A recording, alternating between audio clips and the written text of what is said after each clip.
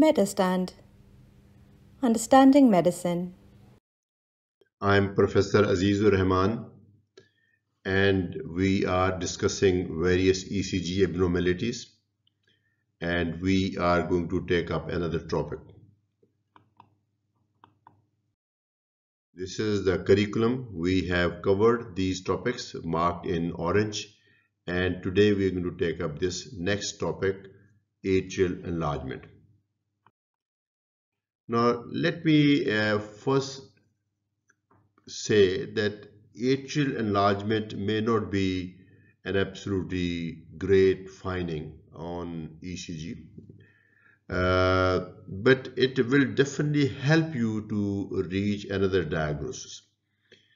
Uh, atrial enlargement in itself could be actually a problem uh, but mostly it is part of another valvular disease, congenital disease, or sometime a, a neoplastic disease and we can tell that this chamber left atrium or right atrium is enlarged and that is all we can tell when it comes to atria. We can't tell more uh, than simple enlargement. In fact, some authors say it should be called a left atrial or right atrial abnormality rather than enlargement. But I think I would follow the convention. It is certainly possible to make a guess on ECG that left atrium or right atrium or both atria are enlarged.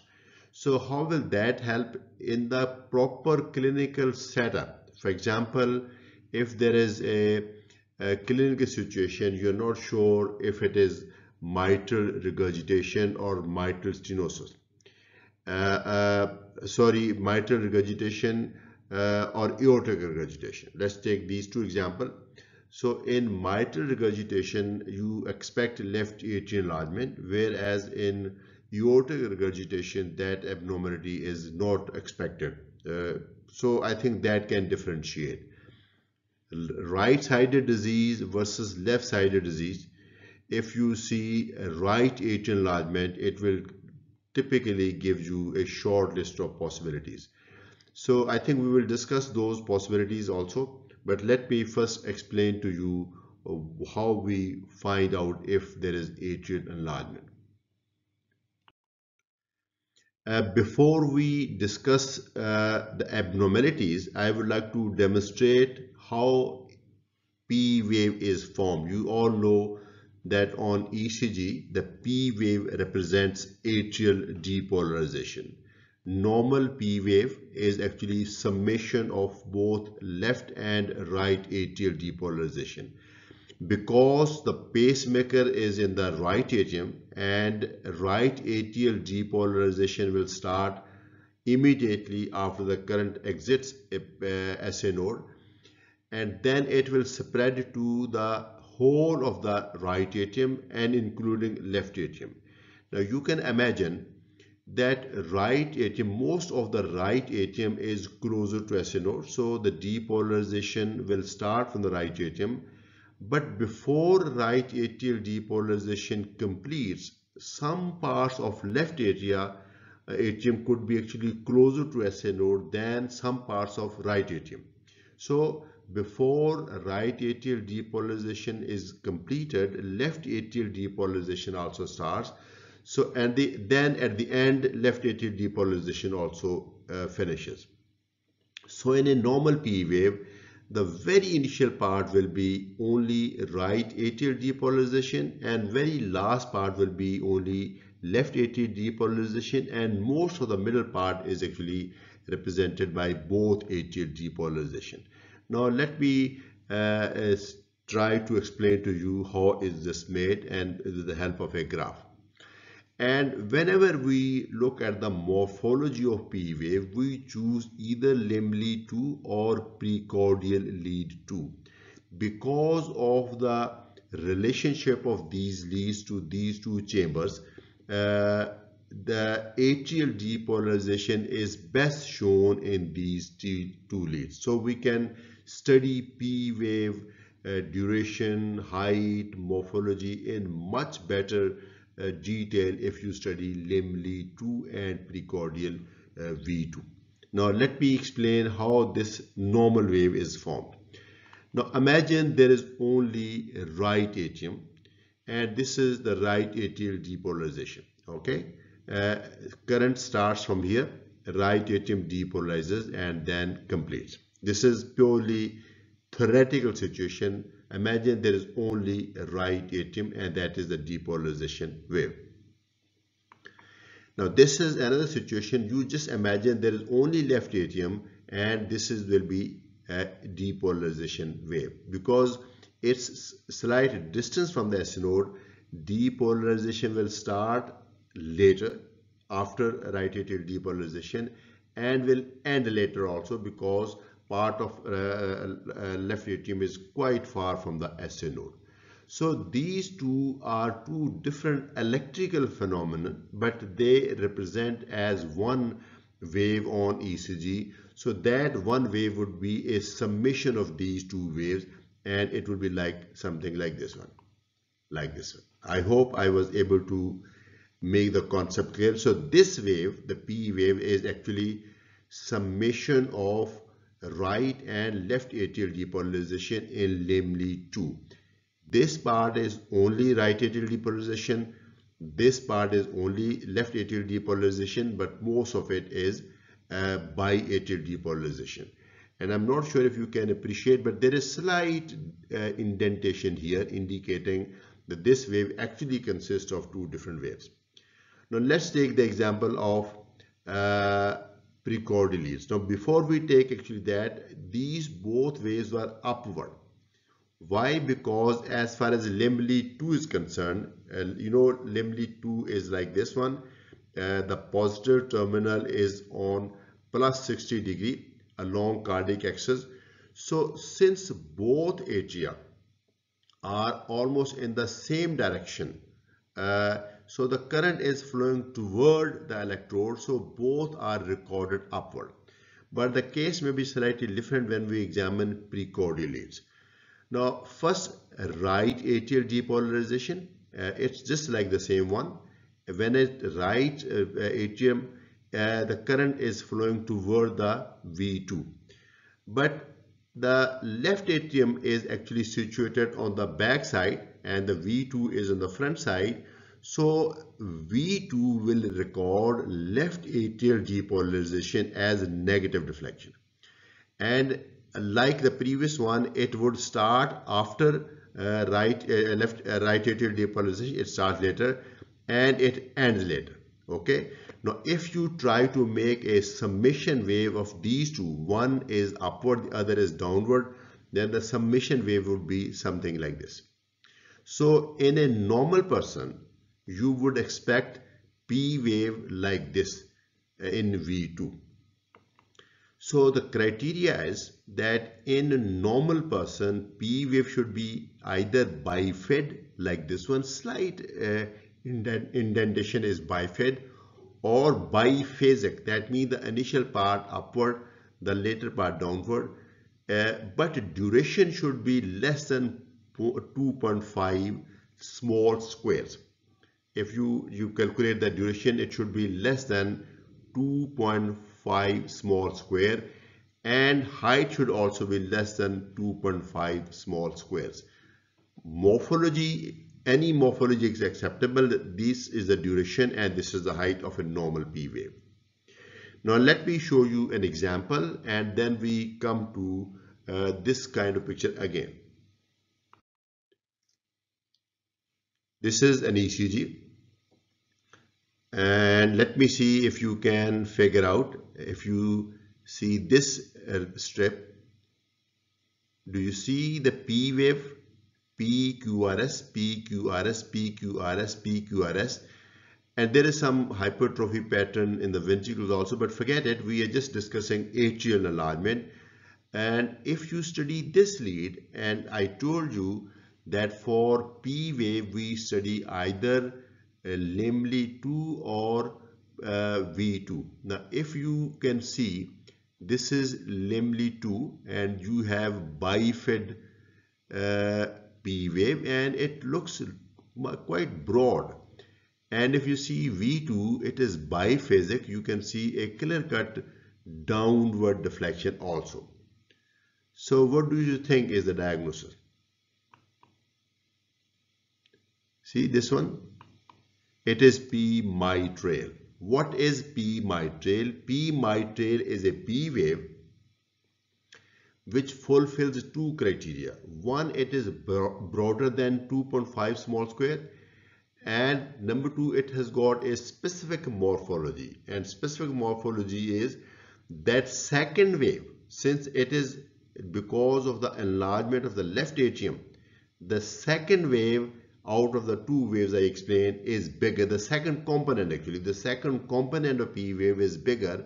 So it will become broader and it will also become biphasic uh, and uh, that is P mitral. So a P wave which has got duration more than 0.12 uh, uh, seconds actually uh, uh, the 2.5 small square is equivalent to uh, 10 seconds, 0.10 seconds. So it is broader than that and it is bifid or biphasic. Bifid mean it is just like a camel hump. You can see both two waves or you, it could be biphasic morphology. I'm going to explain to you in the next video in this slide uh, how is this made. So this is P mitral. If P mitral is present on the ECG all you know is the left atrium is enlarged. It could be mitral stenosis, it could be mitral regurgitation, it could be mixed mitral valve disease, it may be left atrial myxoma. Some degree of left atrial enlargement may also be seen in uh, left ventricular hypertrophy and we will discuss that later. Now let me explain how P mitral is made in uh, uh, the same graphs. This is the first one. Since right atrium is unaffected, right atrium will have its normal wave component. But this second component, if you remember the previous one, this component, second component has become more prominent. And since and it has become more prominent and it has become uh, wide also. So it would, the because left atrial mass has increased, so the left atrial depolarization will take much longer time and it will finish much after uh, the right atrial depolarization resulting in the morphology this one bifid. So in limb lead you have a broad uh, p wave broader than 0.12 seconds and it has got this bifid morphology and in an ideal case the second deflection is bigger than the first one okay? So that is limb lead 2 and when we come to precordial leads let's see and this is right atrial depolarization it is unaffected. And this is left atrial depolarization which has become deeper and broader because it is left atrial component. And net result is that it will result in a bifid, uh, sorry, biphasic, biphasic P wave and in a typical case, this downward deflection, the later part of uh, P wave would be bigger. So area under curve, if you draw a line here, the area under cover of this complex and area under cover of this one, this will be bigger because the left atrium is bigger, left atrial component to the P wave is bigger. So this is how a P mitral is made. The duration of more than 0.12. Of course, duration has to increase because now left atrial depolarization is taking more time to complete. But the uh, amplitude actually does not increase. But this the typical morphology biphasic or bifid will become and the second deflection or the second part would be bigger. So I hope I was able to explain to you what P mitral is and how the uh, physical changes translate into ECG changes. Now we are going to examine another lead, uh, another ECG now. This one. So if you scan uh, uh this lead from this side, like this one, what do you see? It is sinus rhythm. You know, all P waves which precede QRS complexes, they're quite tall, they're quite prominent. See, these are, this looks actually taller than the same complex, the QRS complex. What is this? It is P pulmonale. P pulmonale indicates right atrial enlargement. You can see here also, it is quite tall and here also, look at this one, quite deep. So in, in V1, deep would mean the same as the tall here. So P, um, there is a P pulmonale indicating right atrial enlargement.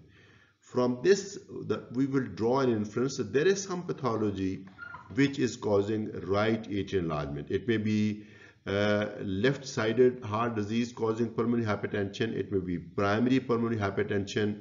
It may be pulmonary embolism. Uh, it may be very common condition COPD. Uh, but any of these condition is causing right atrial enlargement in, uh, representing uh, showing in the form of P pulmonale. Like I explained in P mitral, I would try to explain how is this P pulmonale made. The criteria is very simple. Only one criteria is that the P wave is taller than 2.5 small squares. 2.5 mm is the same as 2.5 small squares. So it would be taller than that. Some authors use the criteria of 3 now if it is taller than 3 and every time you apply the criteria of height you have to make sure that ECG is recorded at standard deflection not double deflection. So if ECG is recorded at standard deflection and the height of P wave is more than 2.5 and particularly if it is more than 3 you would say that there is P pulmonale. The criteria of duration is not there criteria of any specific morphology is also not there. Let's see how it is made. So limb 2, this is the first component, right atrial component. It is more prominent than usual. Now left atrial component will start late, but will end in its time because left atrium is not enlarged. Right atrium will uh, have a taller and broader wave but still it will finish with or before left atrial depolarization. So even if right atrial forces are increased, right uh, atrial component of P wave is increased in its uh, height and breadth but total duration of P wave will not increase because the ending time is the same. So that is the explanation why in P pulmonale we do not have duration criteria. And if we uh, put these waves one on the top of other, you will have a tall P wave. So this is P pulmonale. You have a tall uh, P wave in limb lead 2. Now in that that is only criteria and uh, uh, I think this should help you to differentiate between P mitral and P pulmonale. In some cases, you might actually have biatrial enlargement. And how would you say this is biatrial enlargement? If there is an ECG where P wave fulfills both criteria. It has got duration more than 0.12 seconds and it has got specific morphology of P mitral plus it has got height of more than 2.5. So that would indicate biatrial enlargement. This is Professor Azizur Rahman. I hope I was able to explain P mitral and P pulmonale and I hope that you will be able to identify this abnormality whenever you encounter. Uh, i really look forward to see you in my next video. Professor Azizur Rahman from Medurstand, where everything is free. Thank you.